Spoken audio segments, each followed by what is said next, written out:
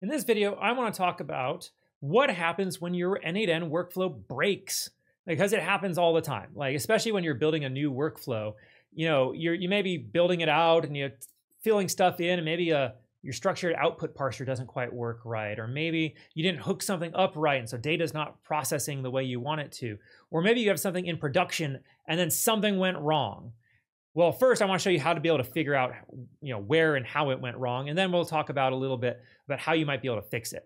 So here we are, we're in N8N. I'm just on overview. I've clicked on execution, so we see all my various processes that I run, and then we see we just come down here and error.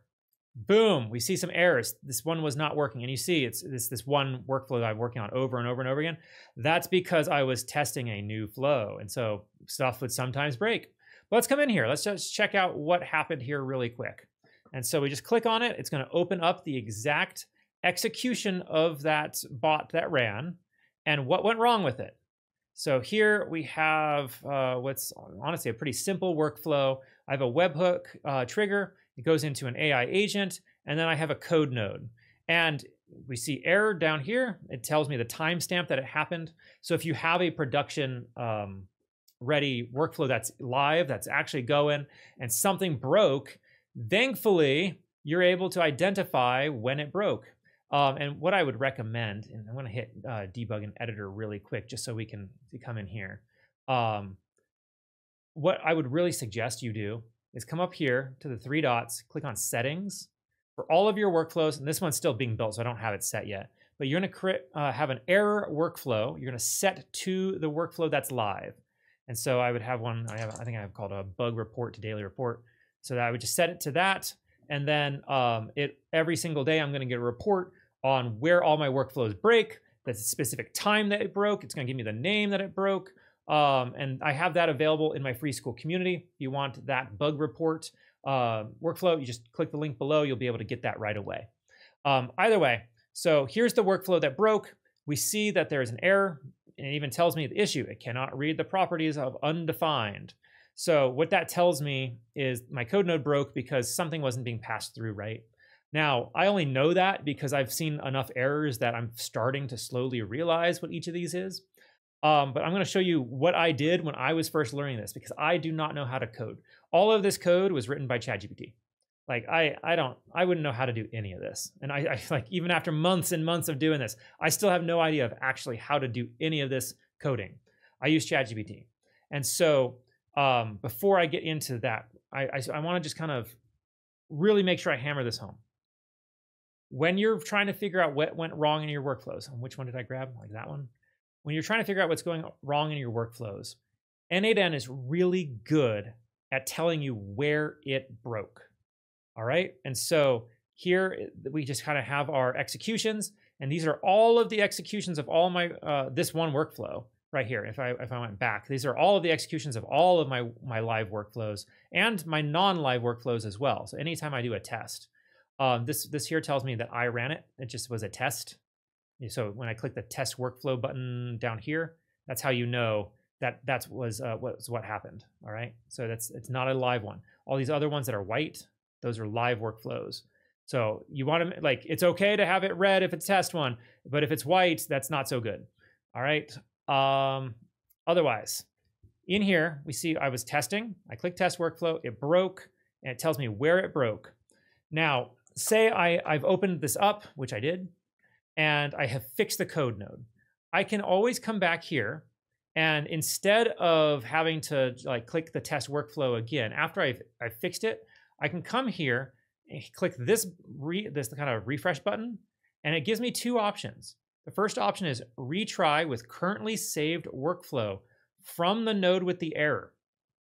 I cannot tell you the number of time, the amount of time that that has saved me. And unfortunately, it took me way too long to learn that that even existed uh, because I'll, I'll often have workflows that have loop nodes in them. And anytime you test a workflow that has a loop node in it, it has to run through the loop every single time.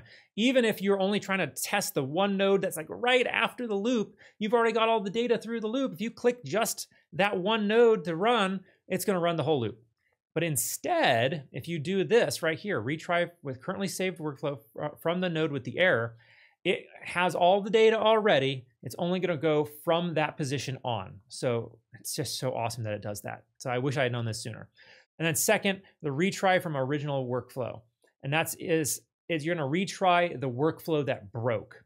Now, I'm not sure why you necessarily might do that. Maybe you would do that if you're you have like maybe an AI that broke um, because it didn't output the structured output quite right using a structured output uh, parser. And I do have a video about those. I'll put the, that in the link to the description below. Um, but if you want to see if it breaks again, because sometimes you might have a workflow that that works and it works and it works and it works. And then it broke like on try number five, and you're like, that's weird. Why did it break? But then on try number six, it works. Um, you can test it over and over again to, to see if it works consistently. And so you just click the, the retry with original workflow. But this one right here, the retry with currently saved workflow, huge lifesaver. I wish I had known about that one earlier. So again, if I fix this, I hit save up here, I can come back here and then hit retry. All right, so here I are in my workflow. I got my data from my, my webhook. I got my AI agent that output some information. My code node broke. It says cannot read properties of undefined. So this is what I would do because again, I don't know how to code. So I'm just going to come to ChatGPT. I'm going to open a new window. I'm going to come over here to JSON. I'm going to click this. I'm going to say, I have a code node that broke in N8N. Here is the inputs that it gets. It gets one, two, three, four, five, paste, one, two, three, four, five. Here is the code, one, two, three, four, five. Grab the code, copy, paste, one, two, three, four, five. Now I'm putting it, I'm putting it in tildes, that way it, it's set aside so it knows that it's separate. And then here is the error that I got. One, two, three, four, five, one, two, three, four, five. And then I just open this up here, the error details, so that I can give it all to ChatGPT, copy that, paste it in, hit enter, and it's gonna tell me what went wrong. All right, it says it can't read, it's pointing to right here. It means the webhook is likely undefined, or at least does not contain data.data, .data, which is this. All right, and so if we come over here, we open up my webhook, the one that says it broke. It is looking for, what, what was it? We're looking for, um, you should log the structure to understand, okay, uh, there is no dot body and no dot data dot data. So we're looking for a webhook. We have dot body dot data dot data. So I actually do have it. And um, I, th I think I know why it's it's let's see body dot data dot data. Um, the error is is actually probably from an old execution and the code has actually been updated since and that's why it's actually correct it's actually correct the code would run i'm, I'm fairly certain if I, I run it now uh, yeah. So it's running now because I've I have since fixed the issue, um, and so th- that's what I would do. It, it, it had, and that's how I fixed it. Uh, originally, it was not webhook. Uh, now that I remember, it was actually set to just JSON dot body dot data dot data, and I had to refer back to the webhook. That was the issue. And so um, what it would do is it would it would tell you that um, this item here, you know, JSON.body.data.data is not is not being found. And well, oh, that's because it's coming from the webhook. I needed to properly uh, set it to the webhook here. So it was web, uh, webhook.item needed added. And once I added that, fixed it right away.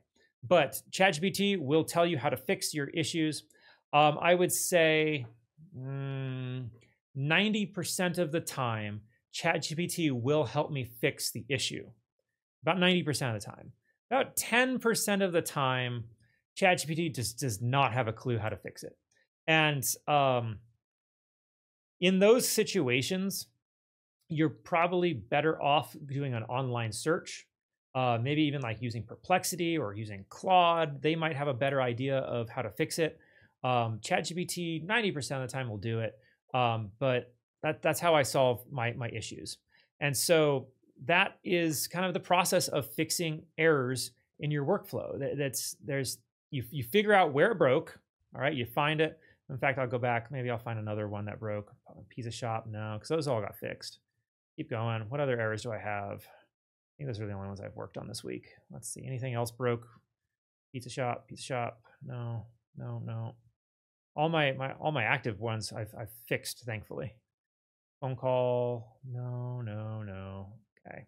I don't think I'm gonna be able to show you anything that I haven't shown you already. But anyway, you you just go in, find the, the, the error. So here, just click in again. Here's my workflow. Just a second. Uh, where are we? Okay, here's my error. This one looks like it's a structured output parser issue. So we come down here. Uh, my agent has structured output parser issue and probably model output does not fit format. So that just tells me, and again, it's because I've seen this enough. This tells me, because the output parser is in red as well, that the model instructions produced something that does not match what I told it it had to match, which is in here. So it says state and cities. Well, it shouldn't be state and cities. Definitely should not be state and cities now. That's kind of weird that it is 16. Yesterday? Yesterday morning? That's not right. Hold on. Check it out in editor. Is it still? No, it's not even there anymore. I, I changed the whole process. So, um, and I, I changed the process because it broke and I, I had to fix it. So um, that's how you identify your errors. Okay, you come in over here to executions, you find where it broke, you go in, find the node that broke, and then ask ChatGPT how to fix it if you don't know how to code. All right, it usually takes me maybe you know 10 minutes max 90% of the time to fix an issue. I might have to ask it twice. So it'll give me a suggestion. I'll go put the code in and then it'll break again. I'll give it the error once more and it'll go oh well you actually need to do this. And then the second time i put the code in it works. It's, it's great um, the other 10% of the time you, you might have to dig in a little bit find someone somewhere who had the same issue and then fix it that way but errors in N8N are pretty straightforward. Thankfully, the whole platform is really nice. It identifies what broke so you can try to fix it. Um, and since the internet is just a series of tubes, it's like being a plumber. You just have to clear out the clog until the information is flowing properly. So if you found this video helpful, please make sure to subscribe to the channel, like and share the video because it really does help get this information out there to those who need it. And if you want additional helpful N8N tutorials, make sure to join my free Skool community. The link is in the description below. I have tons of uh, tutorials, how-to videos, a bunch of free workflows. I think it's over 30, maybe 40 different workflows at this point that you can download for free to be able to get started in N8N. Everything from social media posting to generating uh, marketing plans to executive assistants and much more. As always, I'm Bradford Carlton. Let's automate your success together.